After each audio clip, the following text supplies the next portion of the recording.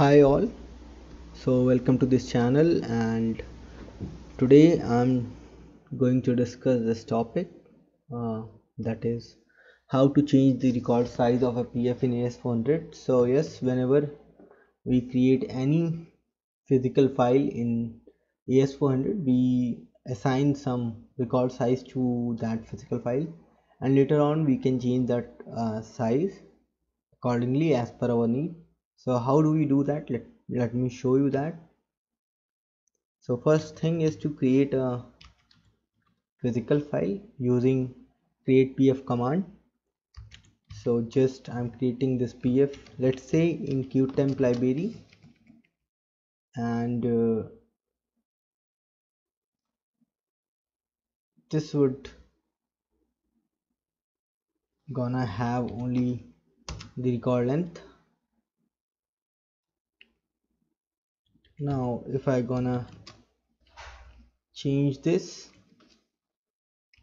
pf1 in qtemp just take f10 so here you can see I can change the record size uh, that is this one size parameter in this chgpf command. So here I can specify the initial number of records increment number of records and maximum increments.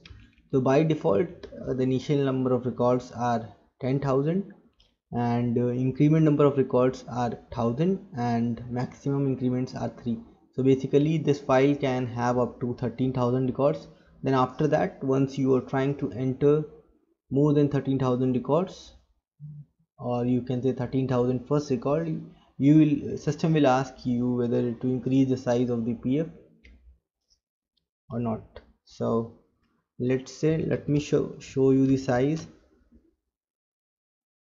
Dspfd qtemp slash pf1 so you can see member size is 10,000 initial number of records 1000 this is 3 record capacity 13,000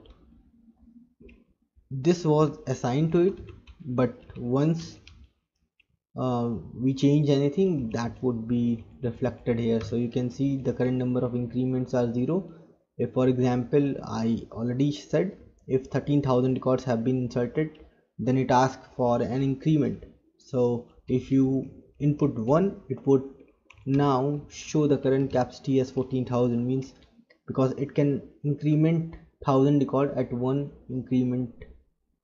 So it would ask it would again um, allow user to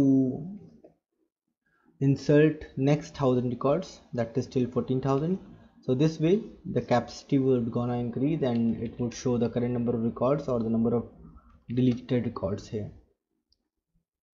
So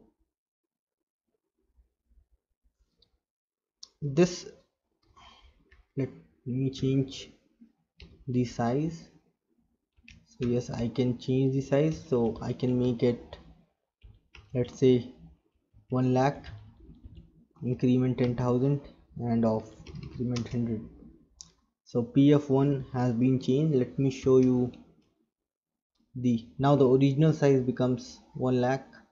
And this is the increment number of records. And this gonna be happen 100 times. So the record capacity is this.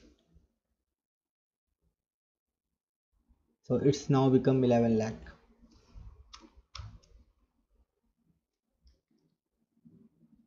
The same way if you come at the bottom you will see this size also got incremented. Now so this thing uh, here we change the size on a flat file. Let me take an example of the uh, pf which is having some DDS. So let's say this file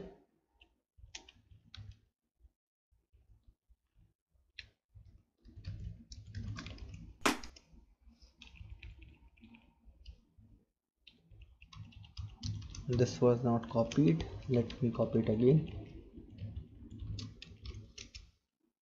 So you can see again here you can see the default setting was there with the initial number of records and increments. Now here you can see there are current number of records are 4 now let me change the capacity. So here all here I can specify any number or I can specify max.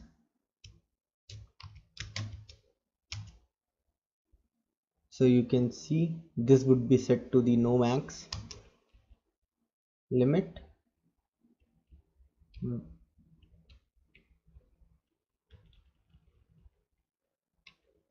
So here we can see we are not able to see those initial number of records or the number of increments and all those things. So the member size is now set to the no max limit for this file. So this way we can uh, change the record size of a pf in AS400 uh, either for a flat file or for a file which is having dds so that's all in this video. Thank you and have a nice time